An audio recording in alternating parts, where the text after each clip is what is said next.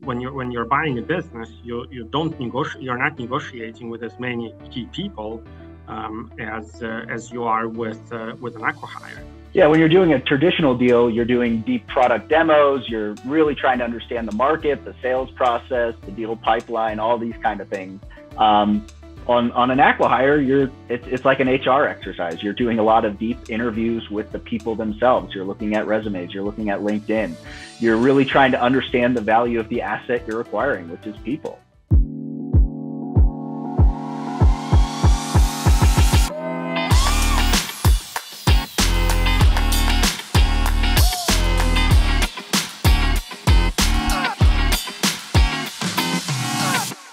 Welcome to M&A Science, where we curate knowledge from the best in M&A to continuously improve. If you're interested in keeping up with the latest from M&A Science, subscribe to our free newsletter at mascience.com. Every week we share highlights from our interviews, invitations to events, M&A role openings, and other resources as we build the greatest community of forward-thinking M&A practitioners. Again, that's mascience.com.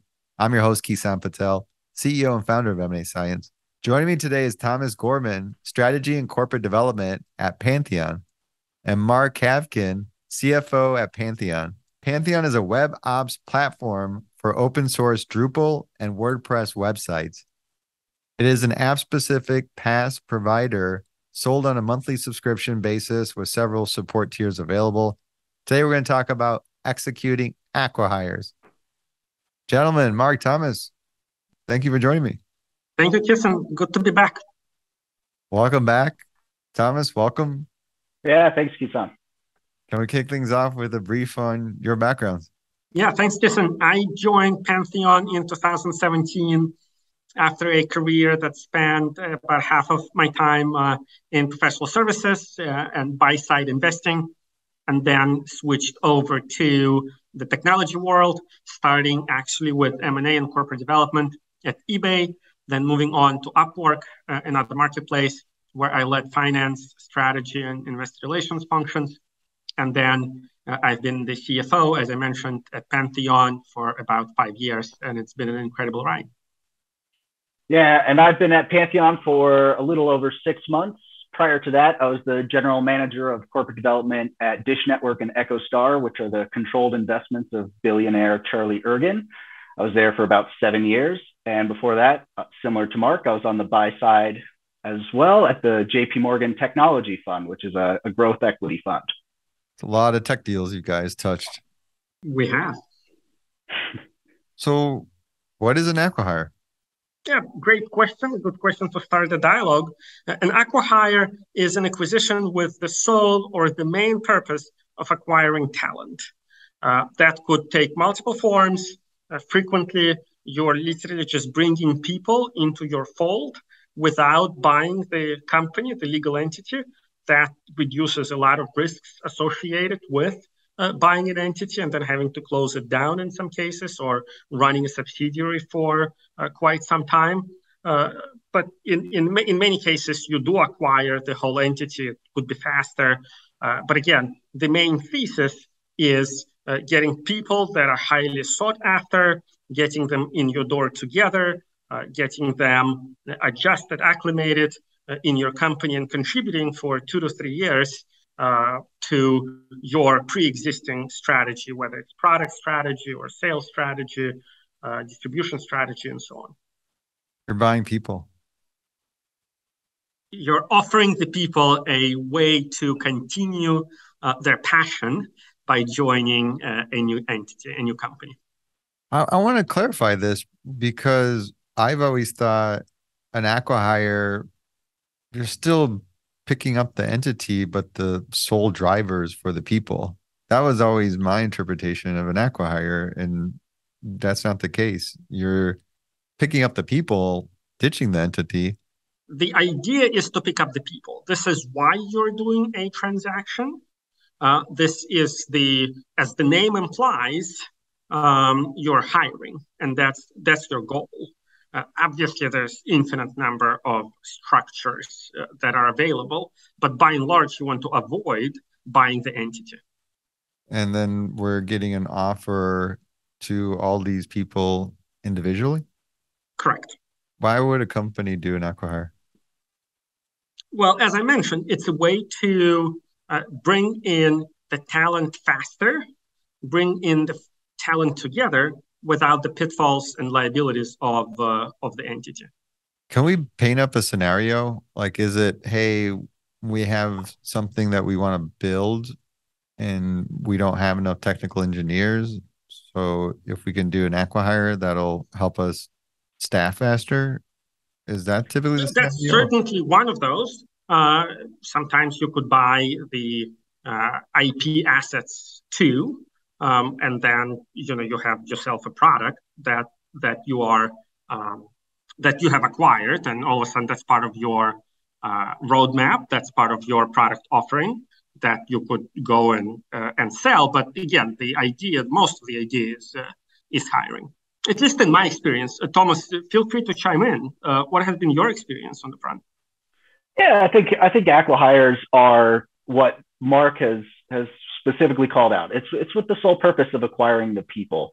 Now, every deal varies in its unique nature, and it kind of can can move in a spectrum where there's some business value, but mostly it's to acquire the people. And on the other end of the spectrum, it's entirely business value, and the people are kind of a an addition to to the business. Um, but really what's important is you are going after the people and that's why you have to structure the deal in such a way that you maximize your your sole intention which is getting these people into your company and allowing them to perform a specific task or objective that you ultimately prescribe. So it could be pretty much anything and saying hey we got this goal and it sounds like it's pretty clear defined when you make this acquihire deal that we want to staff you for this specific project. And that's that's when you propose a deal around that.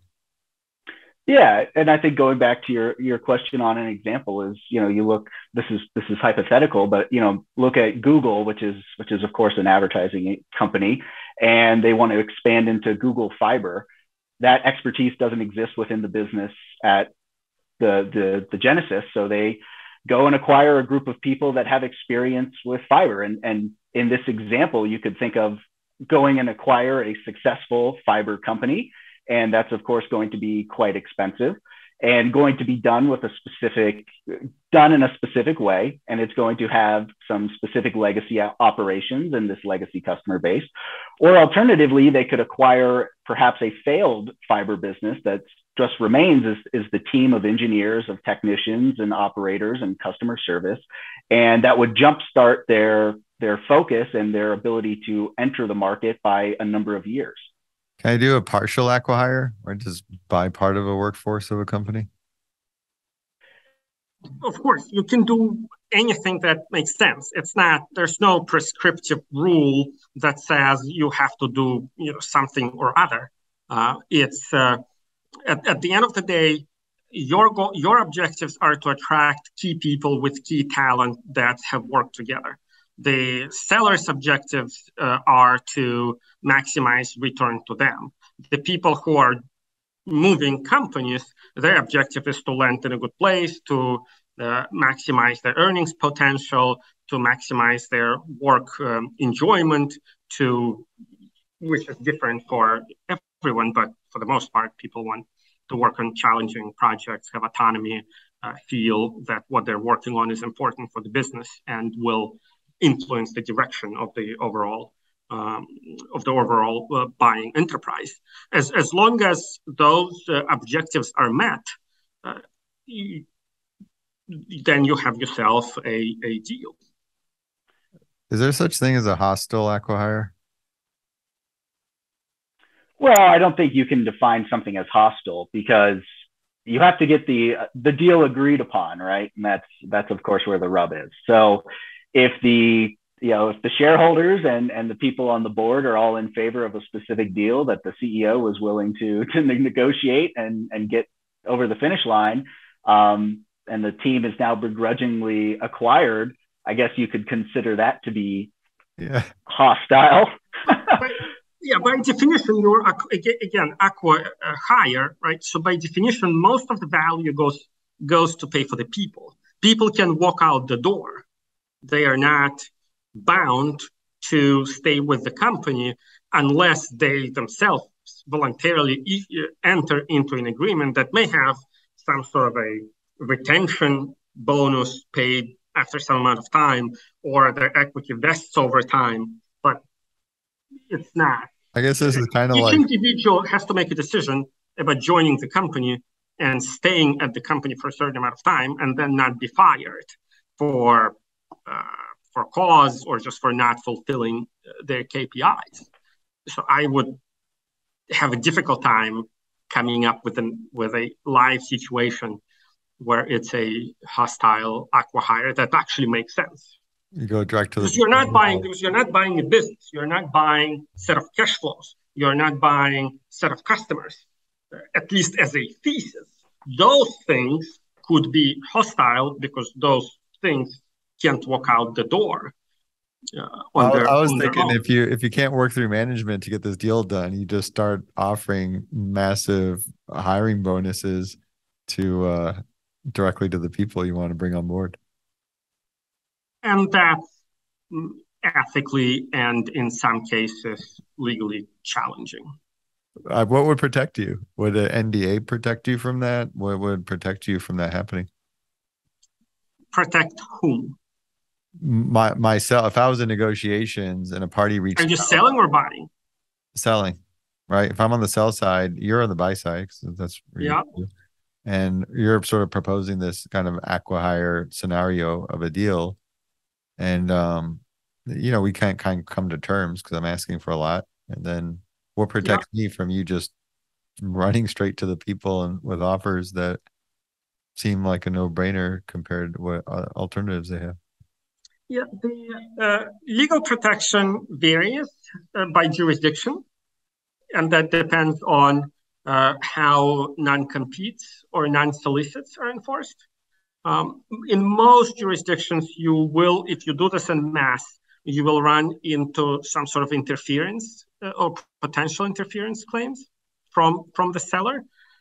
But as in most cases of this nature, at least in uh, the tech ecosystem, uh, the reputational risks are uh, the key would be the key objection and kind of the key risk that the buyer would take on if the buyer would uh, embark on that type of strategy. Thomas, what do you think? Well, I think you're getting to the to the nature of why do you do an acquihire, and the reason is that uh, hiring somebody takes a lot of time. I mean, for instance, you know, to flip it in a different direction, you could just go look on LinkedIn and hire everybody at a at a startup and try to bring everybody over, but it, it takes time. It's a process. And in that process, things change, people leave, situations evolve. And, and that's what makes acquihire so attractive to specifically larger companies is that you can quickly change your position in a very fast period of time. Uh, one, one other thing to clarify on acquihires, more often than not, engineers, do you see other roles that come up for acquihire? Well, I can take this from coming from telecommunications, acquihires. Uh, you you can see that for regulated entities. So I've done an acquihire where the purpose is to to get better at selling to the federal government. There's there's a lot of situations where people in the federal government they do specific RFPs. Having a track record with an entity is important. Having specific people responding, knowing how to respond to a government RFP is important. So acquiring a group of talent to do that is is a huge win. Alternatively, we you can see things for tower climbers, for cellular networks, for fiber installers, for fiber networks or cable networks, and people with specific uh, project management skills. So if you look at something almost like a skunkworks team that's going to have a specific project, it's not just engineers, it's it's project managers, but it's also a cohesive unit, a group of people with diverse skill sets to to go tackle a specific problem or to go after a specific market? I've seen in tech, I've seen mostly uh, engineers and product managers, but the notion is absolutely open to any other type of professionals that are hard to find. And sometimes you want to find mo- a lot of them at the same time. What are key issues in acquihires?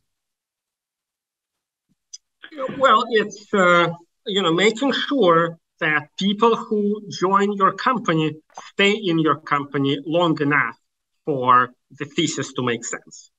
At the, at the end of the day, uh, how you structure the deal and how you structure the compensation, how you structure the organization for the incoming personnel, how do you structure their retention, culture, cultural issues, uh, motivational issues, and, and so on.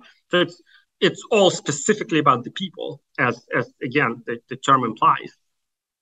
And the thesis always revolves around some sort of contribution by the people you're attracting, and they need time and they need to fit in with the rest of the organization. At, at the highest level, that is the biggest thing that the biggest issue that both that especially the buyer needs to address. Because if, if, if again, if the talent is not happy with where they landed, they'll just walk. Presumably, they are uh, highly skilled, rare, and in demand in the current labor market. That's why you do the acquihire to begin with. So you're getting yourself in uh, in a position where people can walk and they are highly sought after. And I think there's no challenge to what Mark said. It, it's retention that's that's bold and underlined. I think a subset of that is how you think about the flow of economics. So when you're negotiating an acqui-hire, it's what are you paying for and to whom are you paying? You need to make sure that the money goes to the right people. You're basically trying to put money to work to keep these people at your company to do this job or to perform this this this project, this KPI.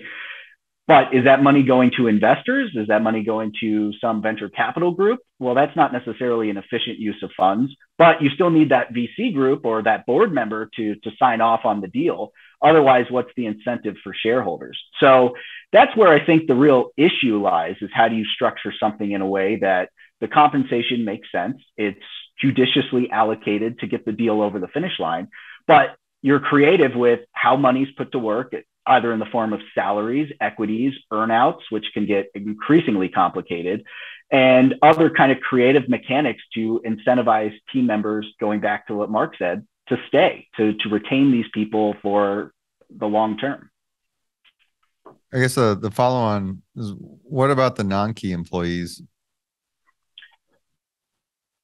I would say you need to approach every acqui-hire as a unique deal you need to get the deal done if that's that's otherwise what are, what are we talking about? And there's going to be a posture with the acqui-hire with the target and they may have an opinion on whether or not you have to keep those specific people. Now you you can always choose as the acquirer not to do the deal but they may have a specific clause around you know keeping people on for a certain period of time uh, that may include lawyers or finance people that you may not necessarily want. You may be thinking, I want those 10 engineers. I don't need that HR person. Um, and you know, when when you're in the position of power or you you are giving a generous enough offer that the shareholders and management have to accept, then you can have more of your way with some of those decisions. You can make sure that you only keep the people that you want. And the economic split is still there. As, as a buyer, you have a certain amount of money that you're allocating to the transaction. And then you need to think deeply about where each dollar goes. You want most of it to go to things that maximize retention. And if you judge that attracting non key people for some reason will maximize the retention of key people, then for sure. Otherwise, the non key people uh, compensation is basically coming out of some other uh, Uh, budget buckets. And that's important to keep in mind. Guys, uh, how do you keep from missing who might be key people or I guess having talent that you want to acquire, but they don't have a long term contract? How, how, do you ensure they're going to stick around? Well, in my experience, there is rarely a long term contract. Um, but I would also add, in my experience, it's never takes much time to figure out who the key people are. That so, yeah, it never takes uh, a lot of time to figure out who the key people are. But also keep in mind, at the end of the day, you are doing an extensive and expensive interview process. So at the end of the day, it's just like when, it, when you're interviewing somebody for the job mis- a hiring mistake will cost you at senior levels six to 12, if not 18 months of uh, pushback. And it's the same thing with uh, hiring people in mass through a transaction. You need to motivate them. You need to make sure that they're bought in into the mission uh, of your company. You need to make sure that they will be cultural fits. Um, and uh, when problems arise, and they inevitably will, because some expectations of some people are not going to be met, met some of the time, you need to be able to fix that. Whether it's career progression that is not strong or as fast as they thought it would be, whether it's corporate politics that are um, that are more pronounced than they thought they would be, and so on and so forth. You just need to effectively treat them as you would um, treat employees that you hired through a normal recruiting process and attracted to your firm. How do you know that they'll stick around for two years? You don't, but that's part of the interview. That's the art of attracting people to work for you. And just like in HR, in, in an acquihire, if you've identified that Kison Patel is the key person, and then you look on LinkedIn and it seems like he switches jobs every six months, that's kind of a red flag.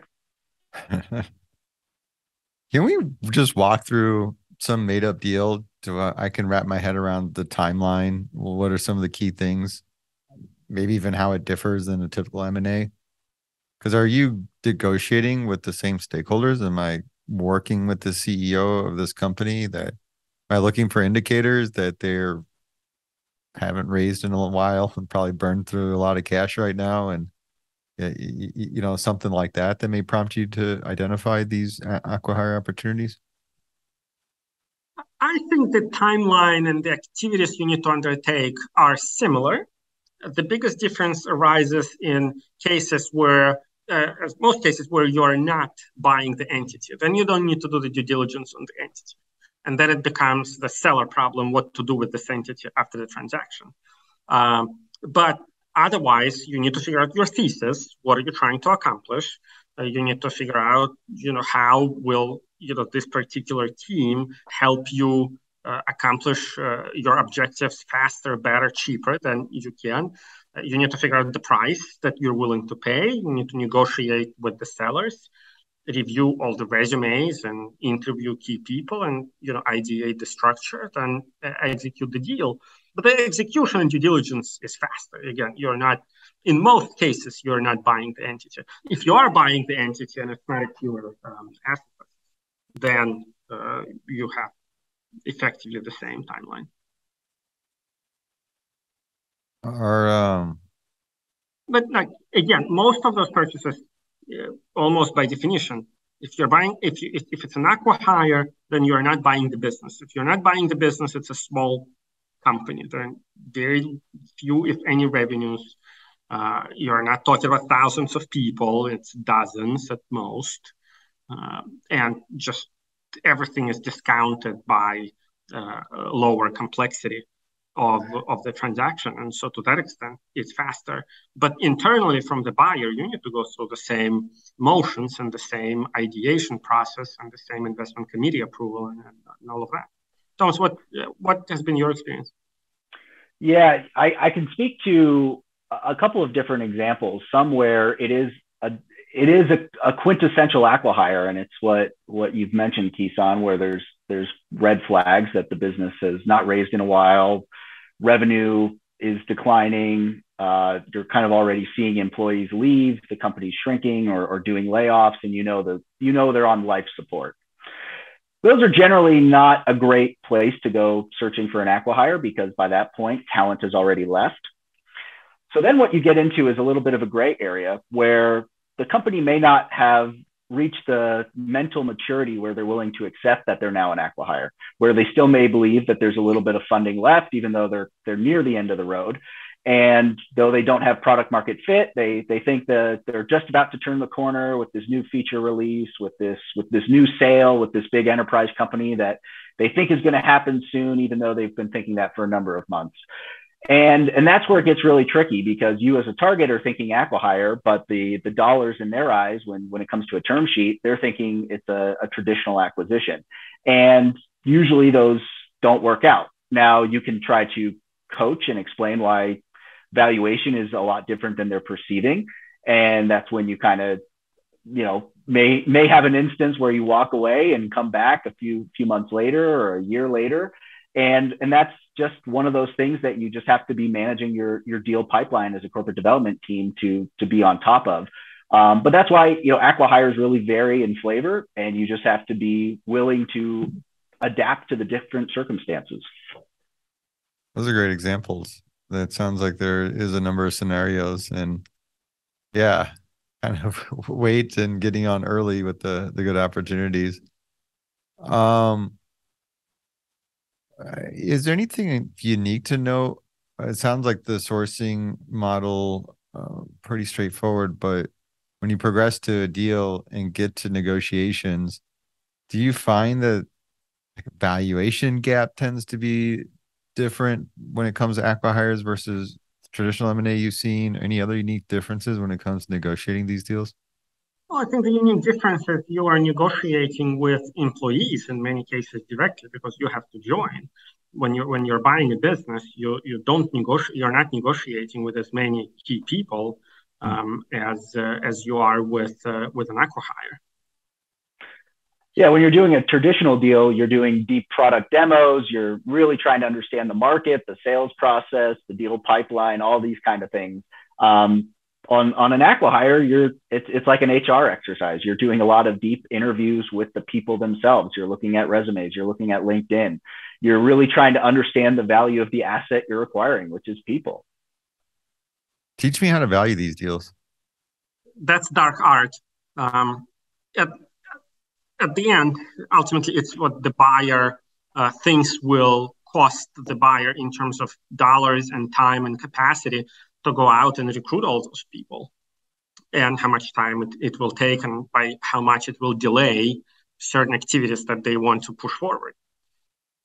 I've seen multiple uh, rules of thumb, you know, from a million dollars for an, for an engineer, for small acquihires to, uh, you know, multiples of what has been invested just to make sure, just to try to make uh, early investors whole. There could be uh, way more approaches to valuing this than uh, if, if you have a more or less stable business uh, that has comparable transactions, that has you know, comps out there in, in the public markets uh, and, so on. Uh, this is a much less of uh, valuations are rarely announced. every case is very specific. The numbers are typically are not stratospheric, so it's uh, it it varies. It it's it's hard to pinpoint in, in this particular example. Yeah, I think in Mark gave me the what not to do. Now, Thomas, tell me how to do it. Uh, well, you know, with traditional M and A, I think uh, enough college courses or enough Warren Buffett books will will kind of get you there.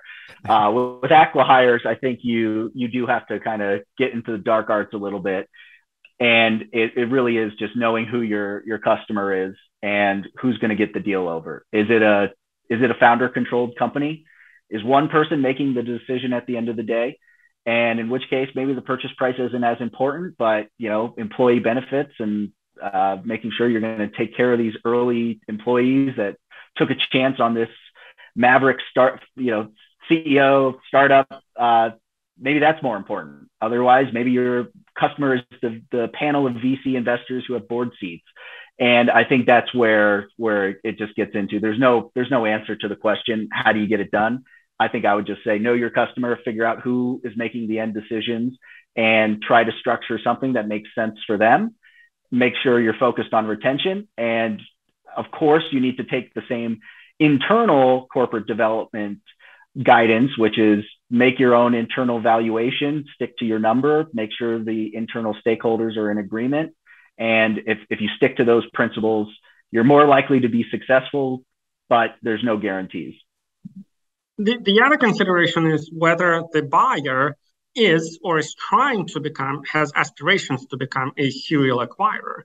Because if that's a serial acquihire acquirer, because if that's what you are, you really want to make sure that VCs or early investors are happy with the deal, especially if those have large portfolios, because you want to go back, you want other bites at the apple all the time, and you want to have a multi-decade relationship. with the ecosystem. So you you want to have a good reputation for a place where that can provide soft landings.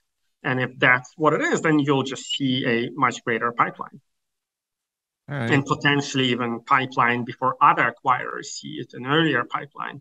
So there are all sorts of benefits that a uh, a serial buyer will offer to the serial seller, if you will. Uh, in, in right. This uh, there isn't a pricing calculator for this one. It's uh, requires understanding how you perceive the value of those resources and acting accordingly. This is what happens when I hang around the strategics too much. Everything's got to be strategic view, but right. how do we structure these things?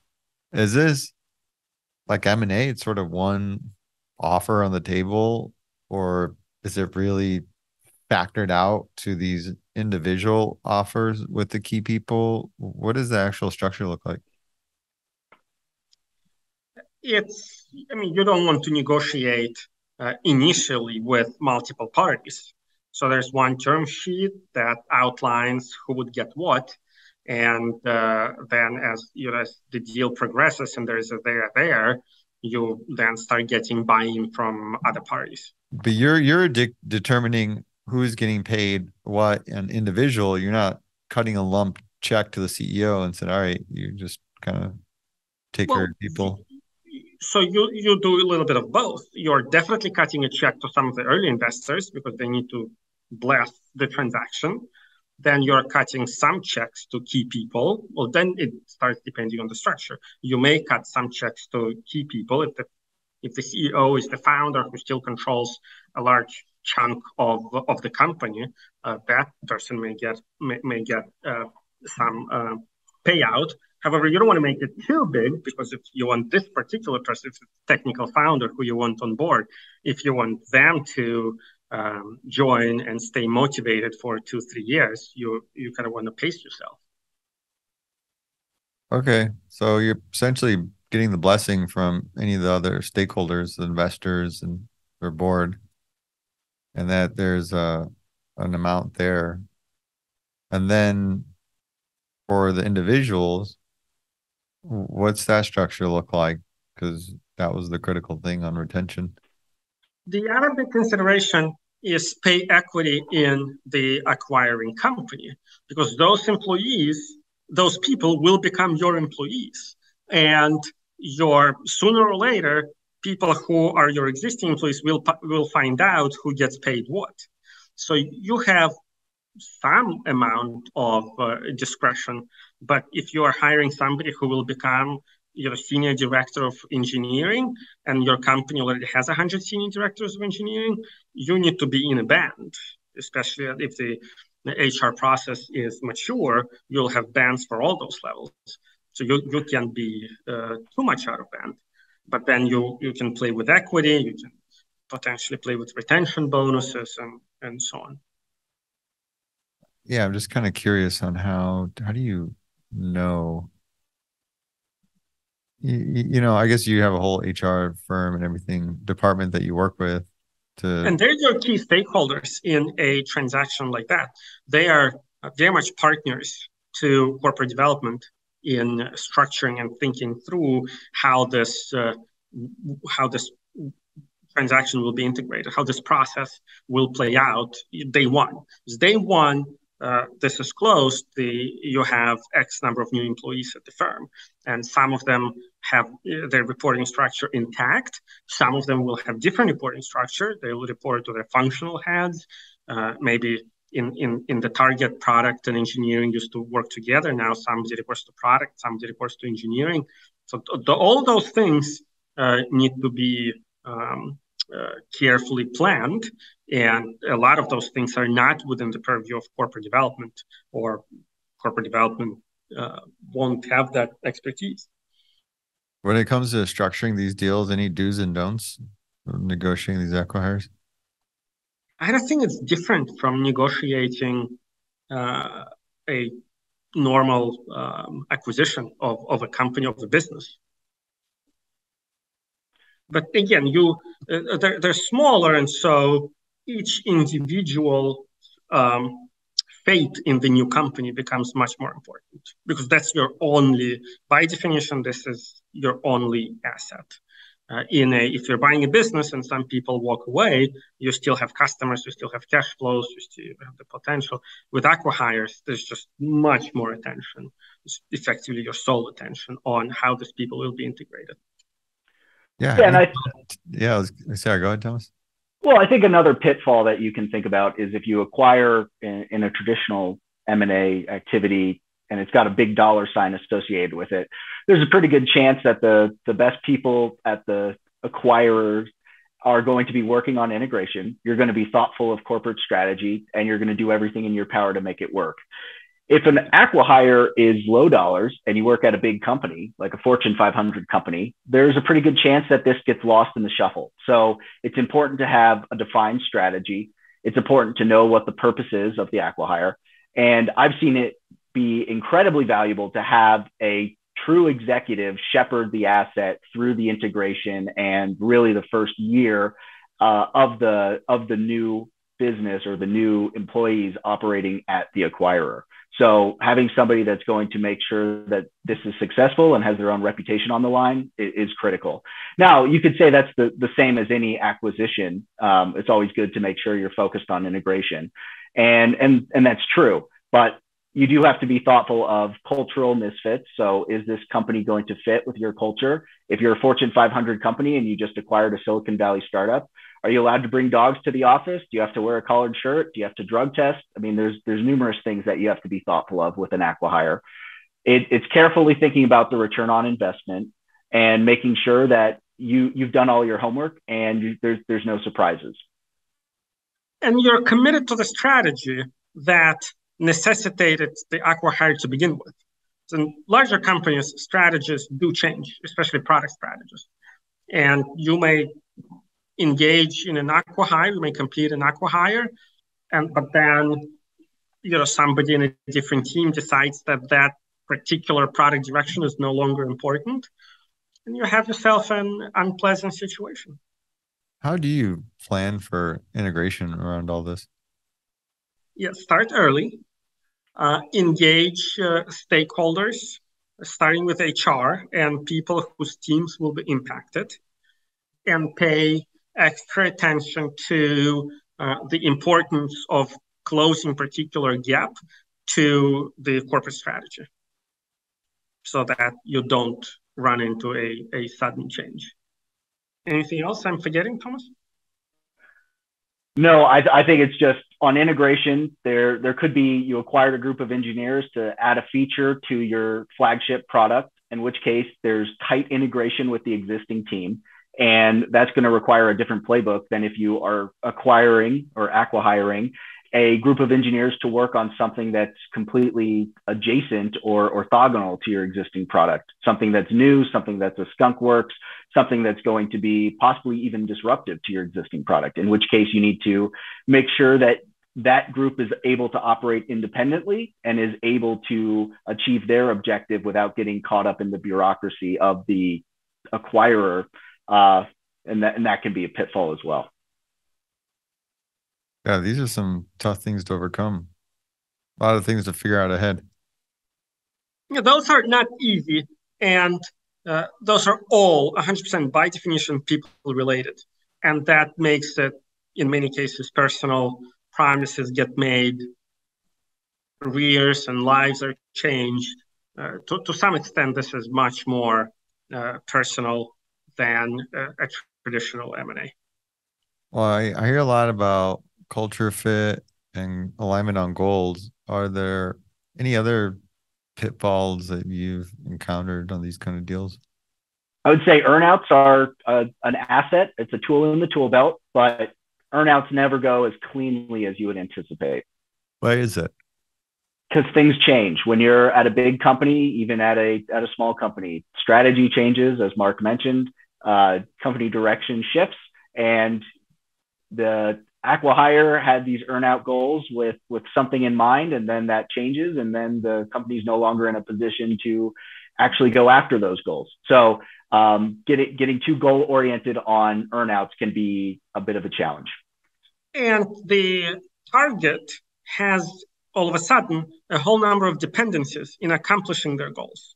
They're not used to having dependencies, but by nature, if they're brought in and they're working with the acquirer, they are expected to work together and achieve something together.